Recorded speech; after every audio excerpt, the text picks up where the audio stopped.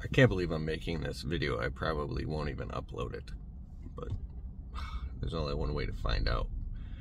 So for years, I've been making videos about how to start a landscaping business right now with no startup money. And my deepest passion is helping people start and grow their landscaping businesses from zero to 100K. And my videos have helped start somewhere, helped start somewhere around 10,000 businesses that I can quantify. And it's not only helped a lot of people, it's created a lot of success for me on social media. And my truest passion isn't actually even running my own landscaping business. It's helping other people overcome self limiting beliefs and blocks and get out of a poverty, scarcity stricken mindset so they can take charge of their lives and start their own business and be their own boss and become financially independent and know their and grow their self worth, right? So, in this huge passion of helping people, I, uh, you know, have had this insecurity, this imposter syndrome that, you know, I haven't grown a million or even multi-million dollar landscaping business myself because that was never even my passion in the first place. My whole passion of growing my own landscaping business was so I could, you know, pay my bills and learn how to run a business and learn just about business. But the real passion is helping people and doing that through social media. And on this journey, I've uh, gotten really good at social media. I've built an entire business on social media. and now the social media is a secondary business. And so, um, this, I, so basically, I've learned how to create multiple streams of income, right? That's I guess you could say I'm not rich or anything, but it's financially freed me up to the point where I can spend time and energy doing what I love. And that's landscaping and making content that helps people. And so, what I'm talking about here is uh, if you see in my videos, I'll be like, oh, check out Jobber software, or watch this Exmark mower video, or um, get this free guide to marketing your business and I get your name and email address and then I put you on my list where you can listen to my podcast and all these things. So, um, but this other new passion is I'm ask, coming out and asking you, do you have any interest at all in learning how to grow your own, not only market your business on social media so you get more leads for your actual service business, but do you have any interest in growing your own personal brand, starting your own podcast, your own YouTube channel? Um, do you have worries or concerns that maybe it's too saturated or it's too late for you, or maybe you're not good on camera? Because I've learned certain levers that you can pull and little methods and frameworks where I was just a, a you know a nerdy dude running around with my phone making videos, and I didn't know how to get anybody to watch my videos, and I learned these little methods like the POP method, the POPP method, which changed everything for me. It made my videos start getting tens of thousands of views. And it wasn't me, it was just this method I learned. And it doesn't matter if you're tall or short or rich or poor or skinny or fat or whatever nationality or anything, you can get results with the POPP method, right? And it's basically passion over pressure to peacock.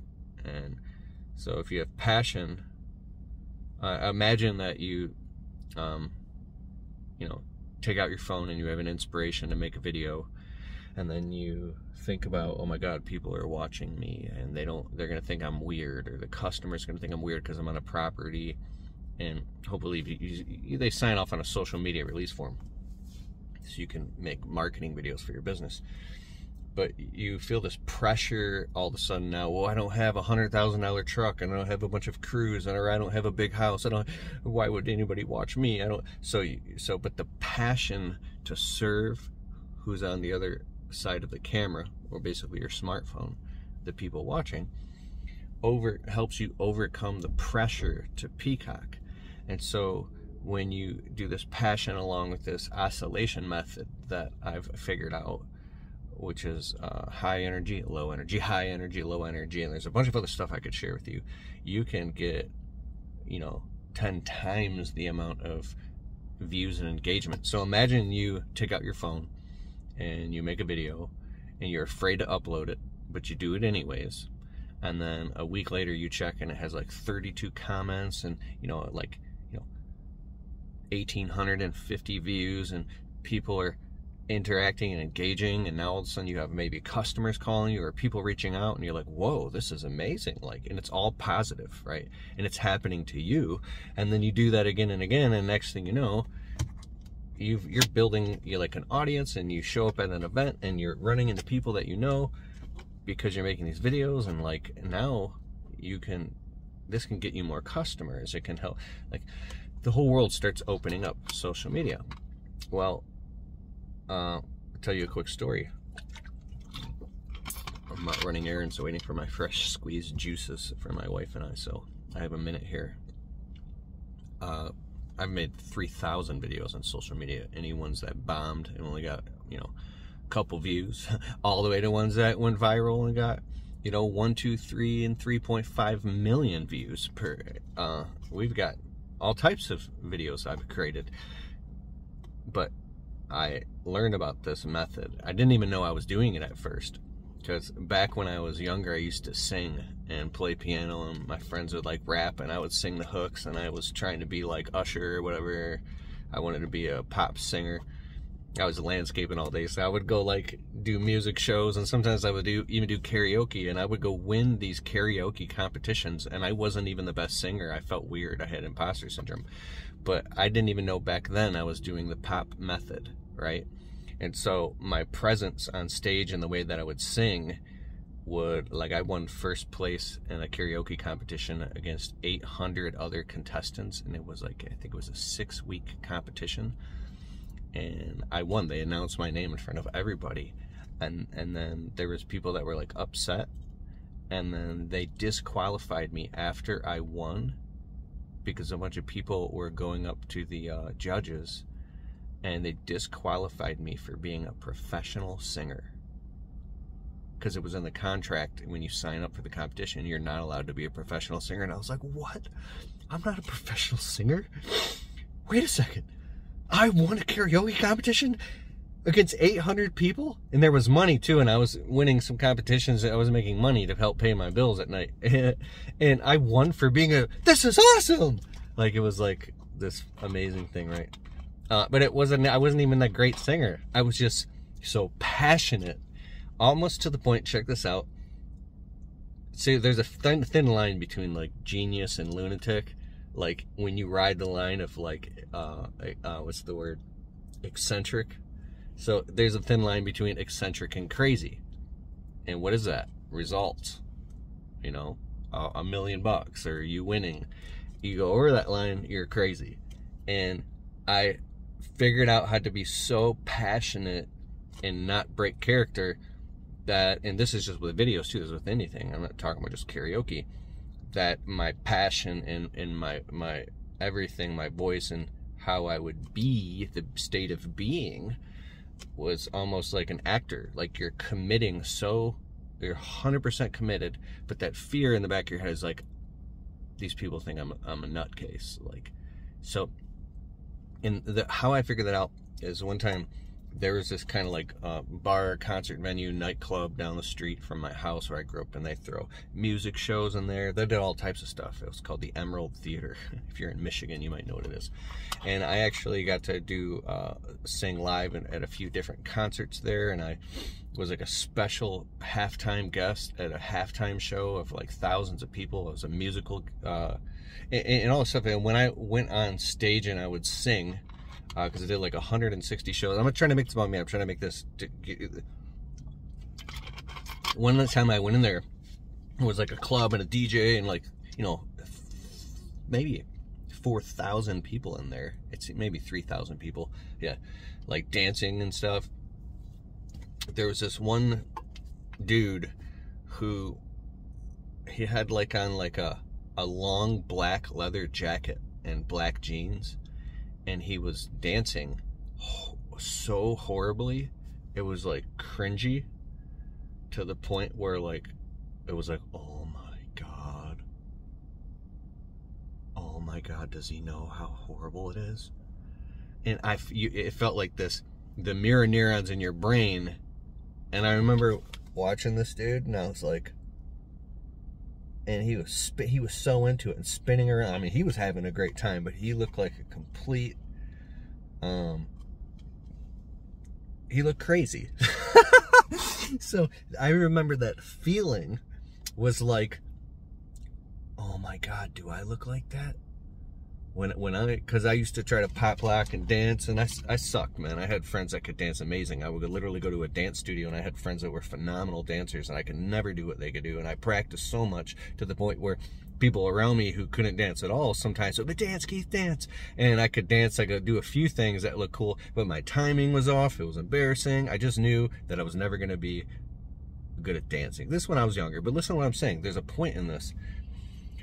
So somehow I started to learn the distinction um, between um, being passionate and eccentric and crazy. So, and it's like uh, you never go full blown crazy, and so you get feedback. The quality of your communication is the quality of your response. You test things and you start to ramp them up more and more and more. You ramp up being fully engaged and moving your hands around and raising your voice and lowering your voice and doing impressions. Like, think about Jim Carrey in his heyday. Here was a guy who was so physically, comedically talented and with his voices and faces that he was one of the rare individuals who was so gifted at his ability to be in character that he could go like full blown crazy, but the crazier he got was the funnier it got. And where a there's I guess you know I love stand up comedy, but if maybe if you tried to do that, you might be like, "Whoa, that guy's crazy." Like um he needs to be on medicine, right? so the reason I'm saying all this is you have to find your own unique strengths and talents and, and, and, strengths and weaknesses. And so there's a guy named Ben Stein. He's like literally partly famous uh, way back in the day for just being so kind of boring. Hi, I'm Ben Stein. But he was 100% himself with the volume turned all the way up. You might be an extremely technical person. You might use your hands a lot. You might be very verbally gifted. You might have imagination and NLP, whatever that thing is for you. So don't try to go off being something you're totally not. But but find out your unique thing and then turn the volume up on that, right? So there's people on social media, excuse me, that can't stand my videos. They they don't like the way that I talk in circles and I go down rabbit holes and they want me to just get to the point, right? So they can't watch me. There's other people that go on this ride and journey because I'm making a bigger point. So for you, when I saw that guy dancing like a crazy guy, if something hit me, it's like, whoa, don't ever do that. Just go all out without first getting feedback along the way before you ramp it up and you're full blown crazy. So get feedback and grow confidence little by little, step by step by step, and let your passion overcome your pressure to peacock. And then the oscillation method is where you talk soft and then you get really loud. And then you tone down your body language and then you oscillate to being dynamic. So all these things um, and, and considering the setting, right? If you're in a business setting, you don't probably don't want to be acting all crazy on a job site and the customer's looking out the window like, oh my God, who, who, I hired this guy who's manic, right? and so, but the next thing is there's layers of awareness. If you're aware of that and you're aware of how other people perceive you, and you read books like Ken Wilber's Cosmic Consciousness, and you, you're aware of how like John perceives Joe, perceives Sally, perceives Mike, perceives Dave, and then Bob is watching all of them, and then um, David is watching that, and, and you have these different uh, perspectives, like paradigms of a a diamond. You can see multi perspectives. The reason I'm saying that is because if you're fully aware of how you're being and what's the level of oscillation, like how high and how low, then as long as you're some you're conscious of what you're doing and your heart is connected and you're not just disconnected and crazy, you can actually turn it up more and act crazy. Like I will walk around make vlogs in like Walmart with my wife, there will be like a like a, a safety cone because the floor is a little wet, and I'd pick up the cone and go attention, attention, and just joke, and my voice would echo, and I'd have my wife videotape me. I'd put the cone back. You know, I wouldn't do, I wouldn't run around the store like a maniac, but I would just do little things and then like act like I'm like like do these crazy walks around the store and goof and even strangers would see me and they would just kind of giggle because like oh that guy's just being funny right? Like because my energy knew that i was just having fun. So what i mean is that there's a time and place for things. Like you don't want to uh, i just spoke on stage in atlanta a couple weeks ago and i'm actually speaking again here next week in atlanta uh, talking about social media, you don't want to be at like a funeral and then go outside in the parking lot and start shooting a video of at the funeral home because you felt like oh i'm bored and i want to go make a video. That's insane. It's disrespectful. It's inappropriate. It's not it's not a good look. But maybe if you were like trimming a branch at work landscaping and you took the branch and you did a whole thing about how to cut the branch and the collar and the root and the 45 degree angle and, and you made a funny face real quick right? People would laugh and it would help drive the point home of the lesson but you went back you so you go outside like you turn it up and then you, you oscillate and then you go back to being professional right? Uh, so i was just I wasn't coaching. I had an idea for some. Who was I? Just oh yeah yeah yeah. I was sitting down with a financial advisor, very professional people, and I was like, you know, what if you guys put on like crazy outfits and like had like confetti and stuff, and at the beginning of like a commercial, because I'm sitting at a big round professional table overlooking the city within a, in a glass building, and I'm telling them this stuff, and they're like, whoa. so I was like, what if you like had this funny, silly thing where the financial advisor was wearing like a top hat with the cane, and like the assistant is it's almost like a Broadway thing, and there's like confetti, and like almost like a like something a magic show, something where it was like da, da, da, like, and then all of a sudden, and it just shows him very serious at the table, like in a suit in a super professional financial environment and it does it's not translating how i'm saying it right now but in the moment it absolutely did. And their faces turned red and they started like laughing and then they kind of started adding to it. I said but what what what that's sub communicating is hey you people financial advisor stuff doesn't have to be so stressful.